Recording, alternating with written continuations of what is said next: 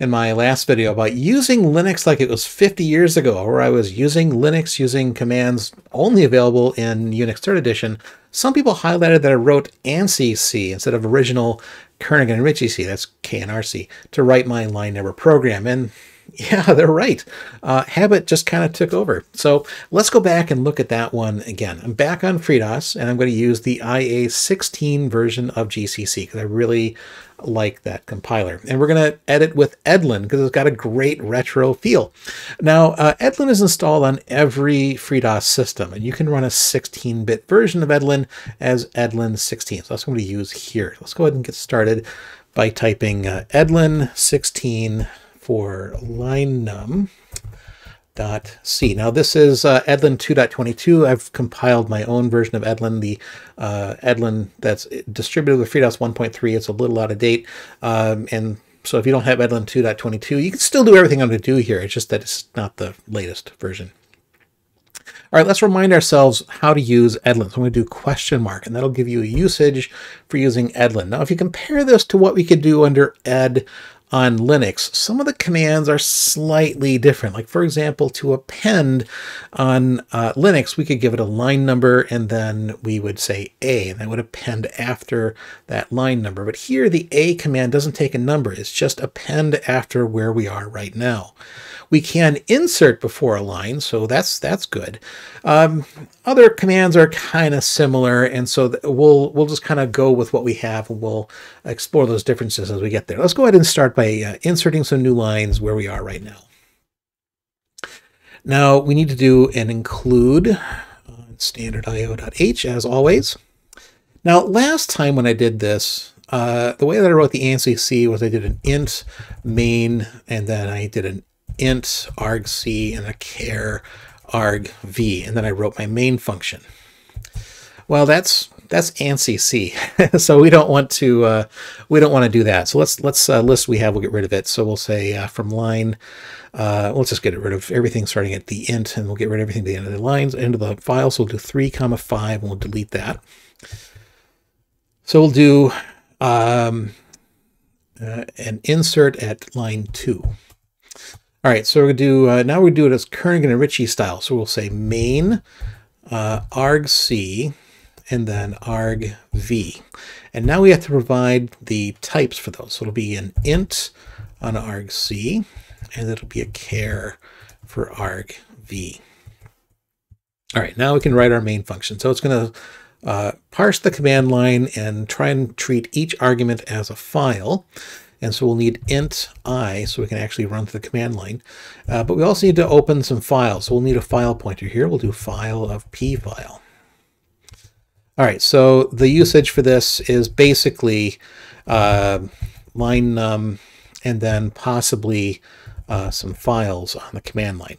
And if we don't have any files on the command line, we'll just read from standard in and just print a standard out like always. So let's go ahead and check if we have the uh, command line options, we can just do a for loop right away. For i equals 1, and then as long as i is less than arg c, then we'll increment i.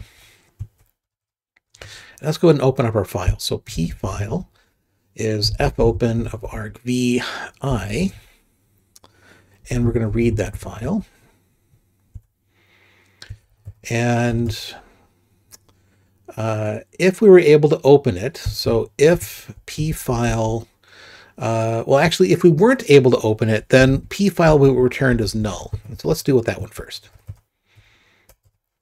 And now we need to print out a message. And so I could do like an f printf here, but let's let's do it really old school. We'll do an f put s, uh, and we'll say cannot open file, and then we'll print it out to standard error. And f put s doesn't actually print a new line at the end. Put s would, but f put s does not. And so now I can, right after that, I can say f put s and then the name of the file we tried to open, argvi. That out to standard error.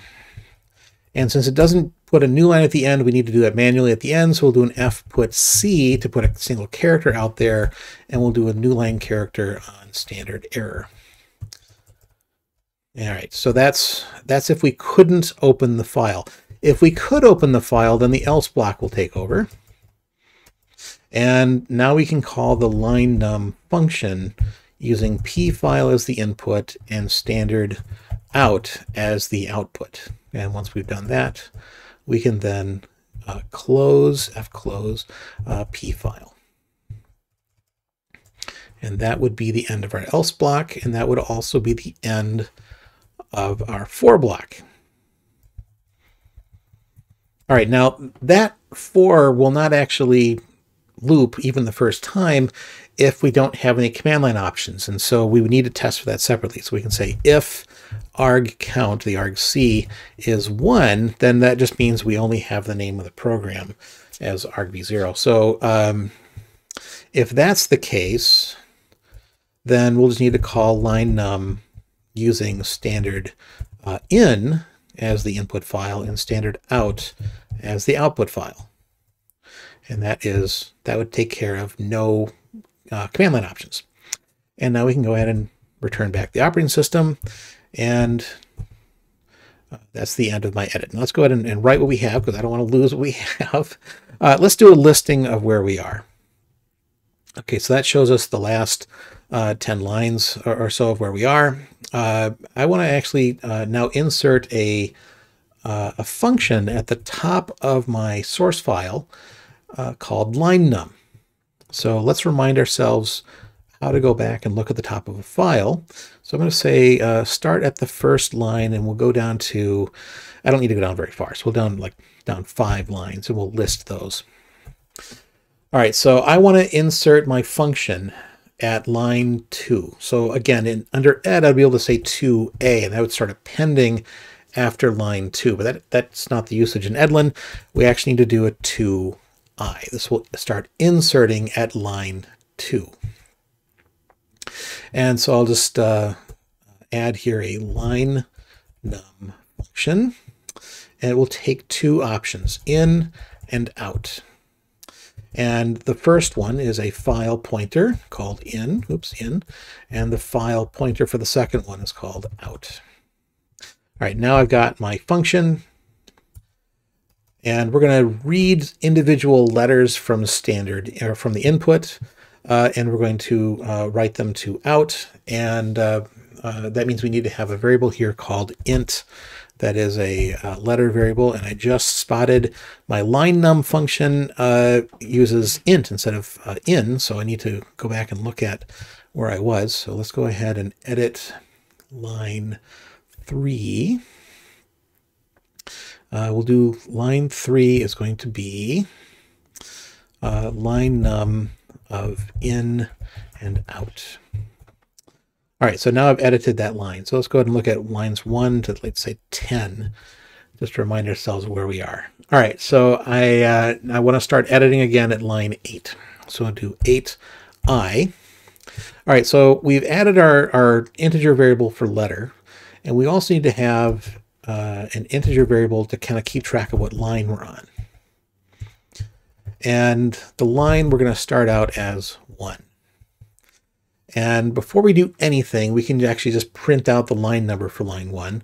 I don't need to do anything fancy like a fprintf um, to, you know, the formatted uh, output because we know that it's going to be 1. So we'll just say fputs of 1 space padded.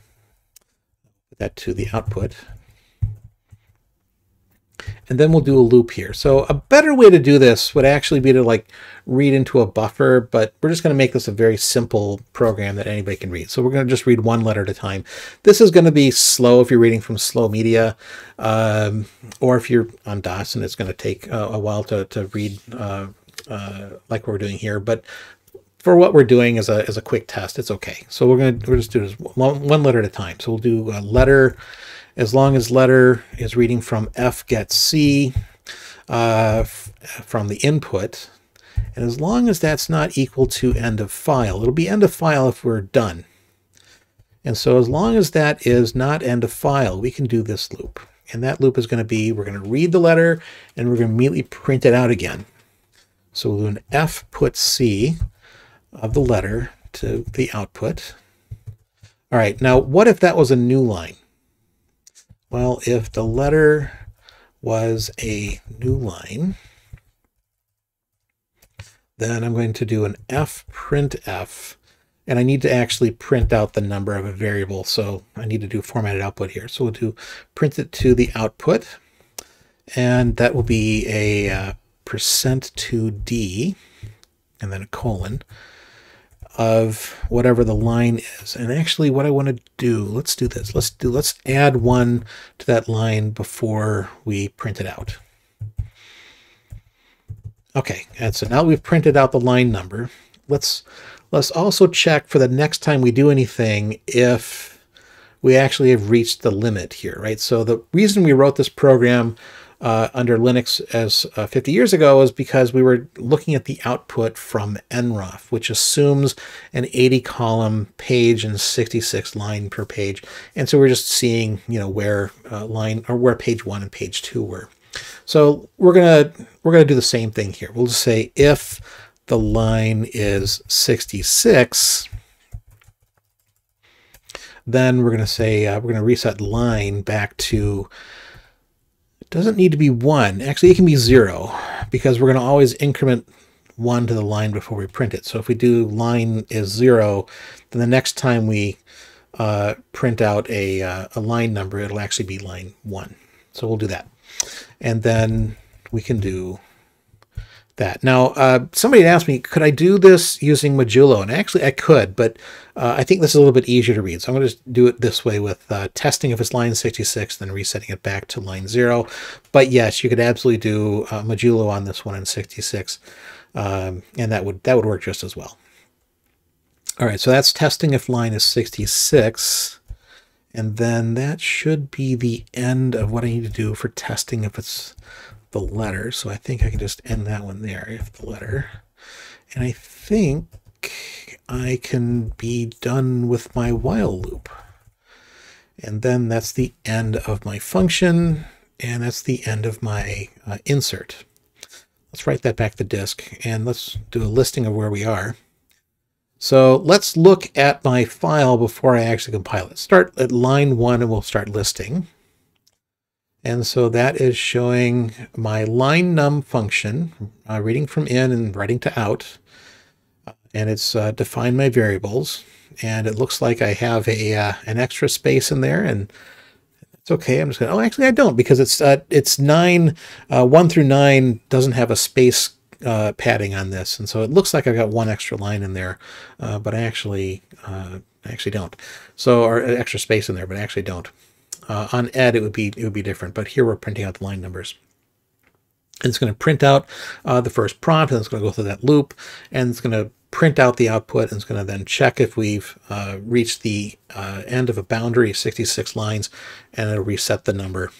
And then we'll do 24, start at the line 24, and we'll start listing. And then uh, that's the end of our while loop. And then the main function is what actually reads the command line, opens the file. If it can't open it, then it, generates an error. Otherwise, it uh, it prints, uh, uh, calls the line num function to read from that and then print a standard out. We'll do line 46 listing. And then at the end, it just uh, closes the file. And then if it couldn't run through that loop, it's going to uh, just read from standard in and write a standard out. So we've already uh, written our file, so we can go to Q. Ooh, let's, uh, that, that suggests I actually made an edit already. So do write. Okay, so that's good. So now we can do Q. Yeah, well, yeah, okay, really important edit. All right, so let's do a uh, compile on this. We'll do i16 gcc. Uh, we'll send the output to line num.exe of line num.c. And it's given me a warning here uh, it's given me a couple warnings. One is uh, the functions uh, don't have a declaration, and that's actually pretty common if you go back and look at the uh, Ritchie C book. But the other problem is uh, my um, uh, I, when I check for a, a, new line and when I try to print a new line, uh, I forgot that I'm supposed to uh, double up on my backslash. Let's do an edlin 16 on uh, line num.c. And let's start listing at line 1. And so there on C on line uh, 17, that's where I'm supposed to make one edit. So let's go and fix that here. 17.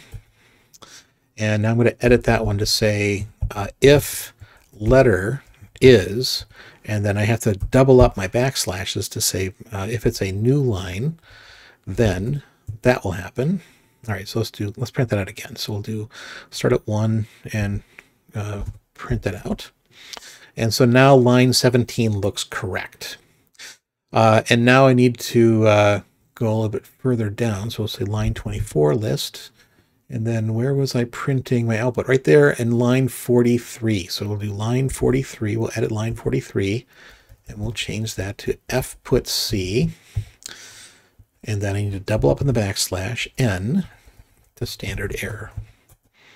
All right, so that looks good. We'll write that back to disk. We'll quit and we will do another GCC to line num. And we should still get the warnings that I didn't declare a variable type on main or my line num function, and but that's okay.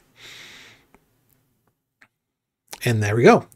Now our program works and we can call line num on, let's just do it on uh, line num.c. We'll look at the actual source code for this program. It's, I don't, I think it's less than 66 lines from what I saw before. So we're actually gonna, not going to roll over that. But let's do this. Let's change the program so it rolls at line 50. You can see we got 56 lines in here. So we'll do uh, edlin 16 on line num.c. And that was up in the line num functions. We'll just uh, start printing in line 1.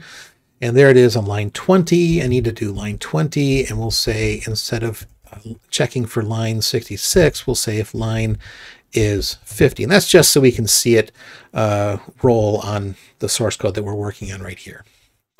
Right, and then quit, and then recompile my program. And we expect those warnings, and that's okay. And we can now run the line num against line num.c, and we should see it roll at 50. And so this, if you're curious, is how you would uh, write a program using original Kernighan and Ritchie C or K&R C uh, style syntax. What do you think of this video? Let me know in the comments below. Uh, before I go, I have to thank everybody who supports me on Patreon. You really do make this channel happen. I know I say that a ton, but it really does matter. Uh, some of you support me at a higher level, and I want to thank you here especially for that. Visit our website at freedos.org, join us on Facebook, follow us on Mastodon, and consider supporting me on Patreon. Thank you.